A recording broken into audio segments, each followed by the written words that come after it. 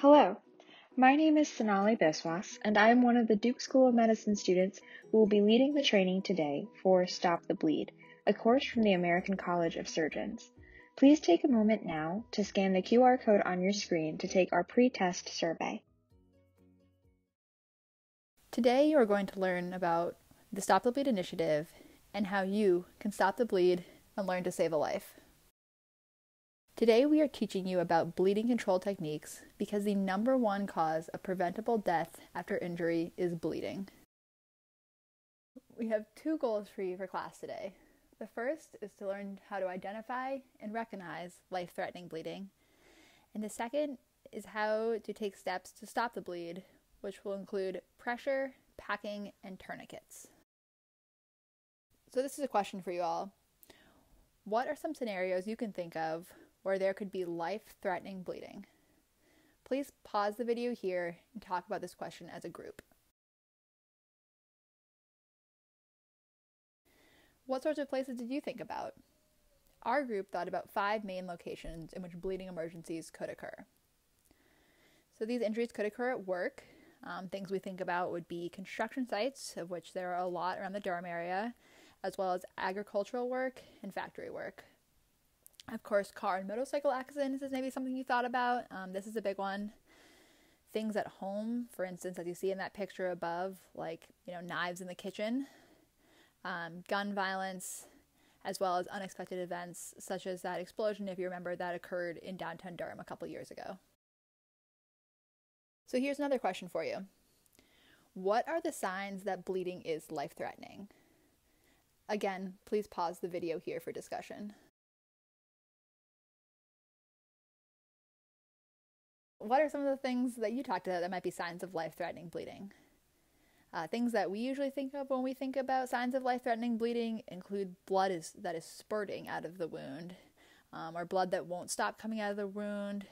If you see blood pooling around the patient on the ground, if you see that someone's clothing or bandages is totally soaked through with blood, um, that's a very concerning sign.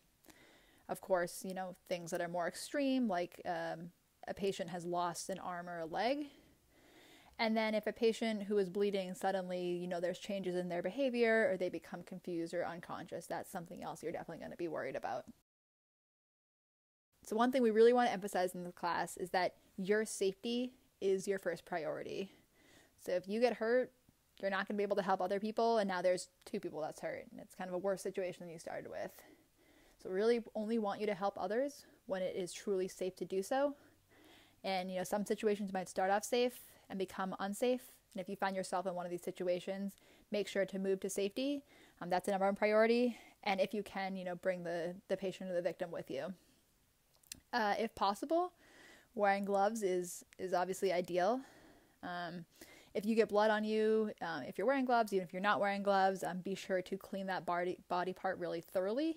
And then, of course, follow up with your healthcare provider and they'll see if any additional testing or interventions are needed. And so, one of the major lessons we want you to take away from today's class are the ABCs of bleeding control. A is for alert 911, B is for bleeding, and C is for compression. And we'll talk about um, each of these facets in the coming slides. So, A, A is for alert 911.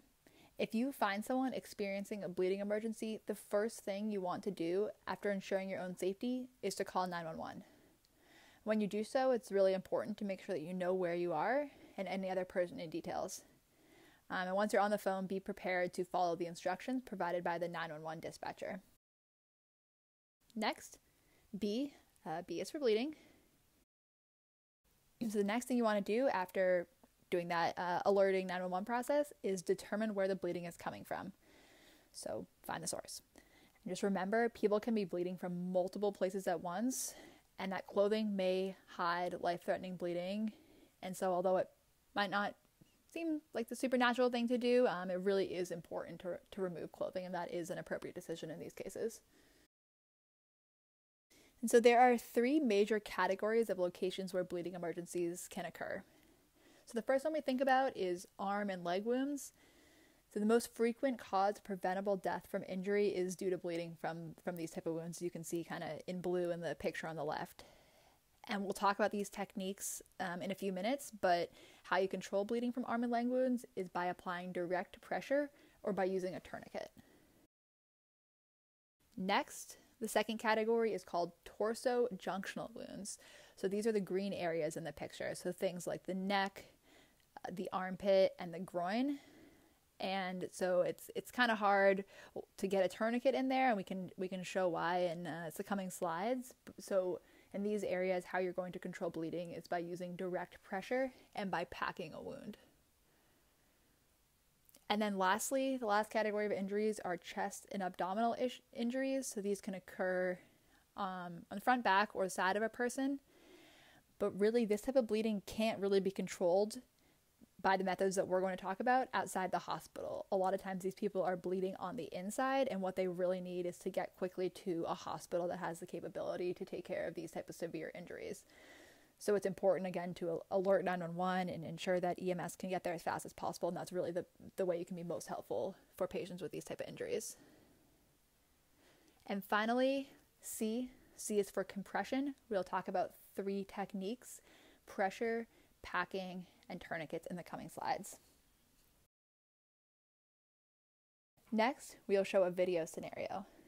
While watching the video, be sure to look out for the things we have discussed.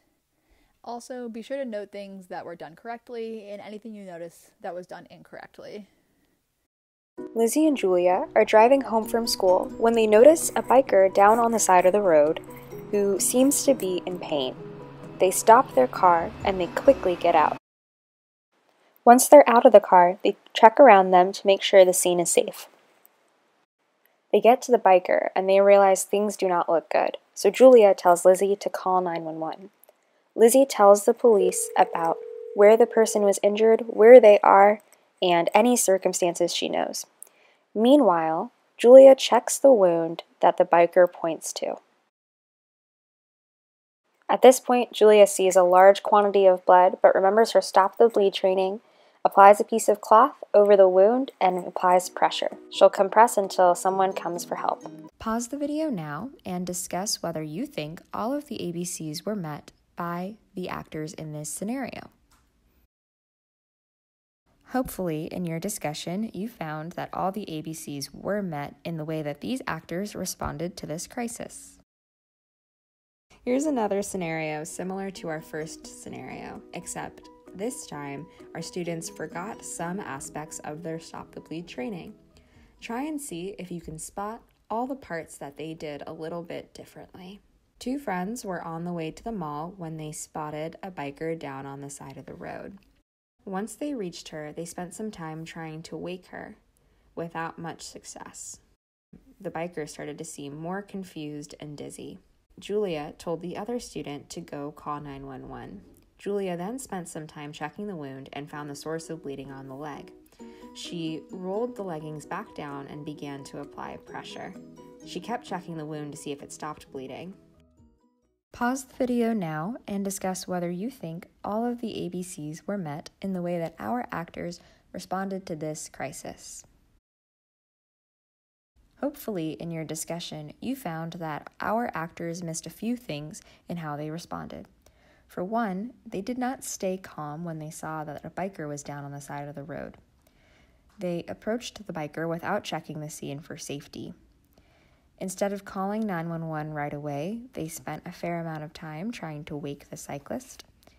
They uncovered the source of bleeding, but they did not leave it uncovered when they went to apply pressure later on. Finally, Julia, one of our actors, did not hold constant pressure on the wound. Instead, she kept lifting her hands to check to see if the wound was still bleeding. For this next section, we'll be discussing compression. You can practice these skills at home by practicing compression on a pillow and practicing packing, which we'll talk about later, by using paper towels and scarves and an empty cardboard tube.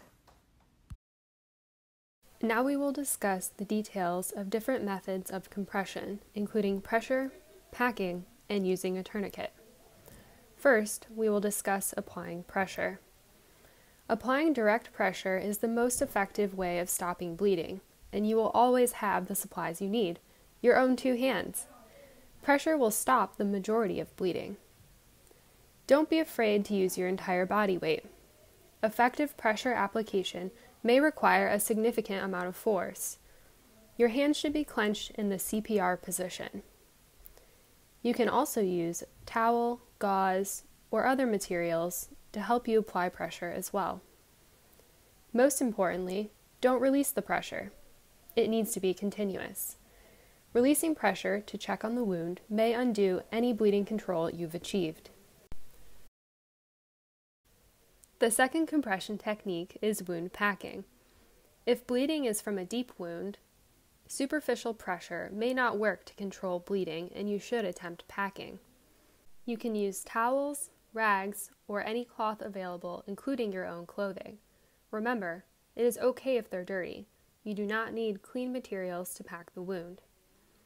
Packing all the way into the depths of the wound is important. You should use a systematic approach, like going clockwise or counterclockwise around the wound, to make sure you're packing all of the crevices. Once you complete packing the wound, be sure to hold pressure until help arrives. Here we see Julia packing the wound. Notice that she is using a systematic, clockwise approach to make sure she fills all the crevices of the wound. Once she has completely packed the wound, she returns to holding pressure using all of her body weight until help arrives. The final compression technique is using a tourniquet.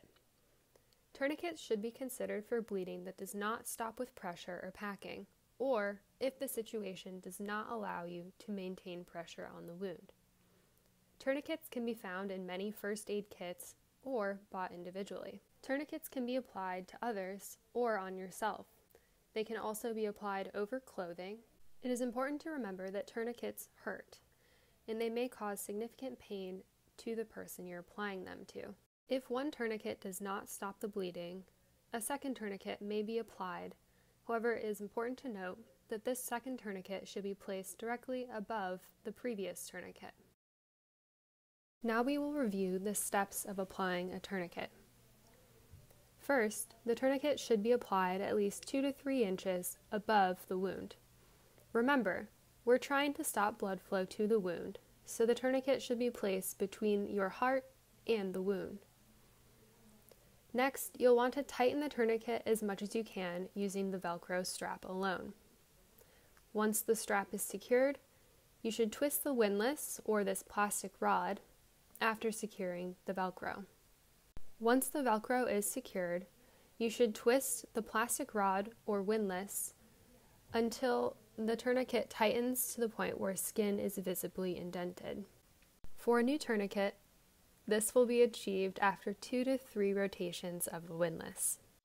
Once the windlass is tight, the windlass should be secured in place, and most tourniquets will have an area to mark the time if you're able to remember it.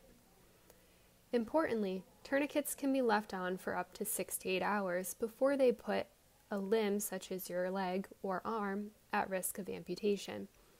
So you should never remove a tourniquet or loosen it once it has been put in place. Here we see Julia applying a tourniquet.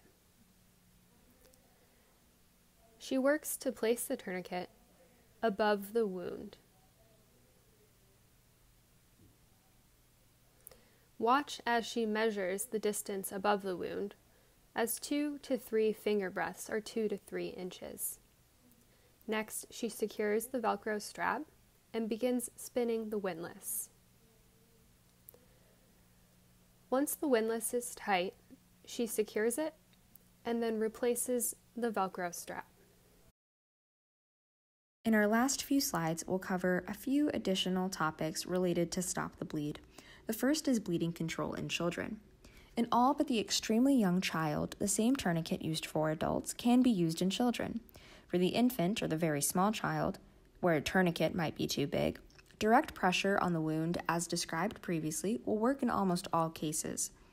For any large, deep wounds, wound packing can be performed in children just as in adults using the same technique that we previously described.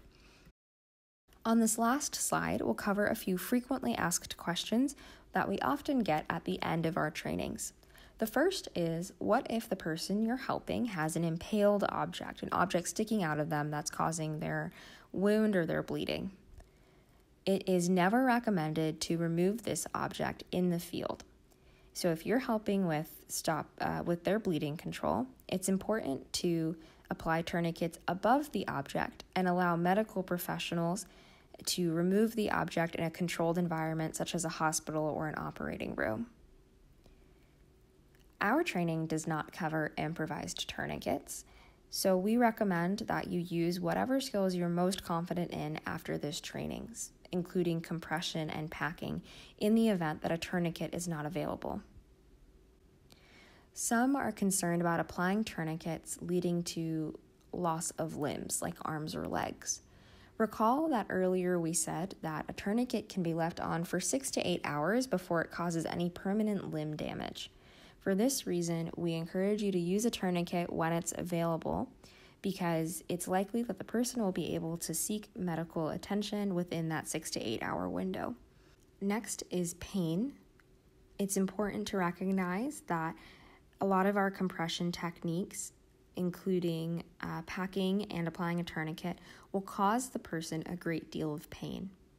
For this reason, we recommend talking the person through your actions and making sure that they're aware of the fact that pain is likely. For this last bullet, we often get a question about what to do if you notice that the person you're helping has a loss of pulse.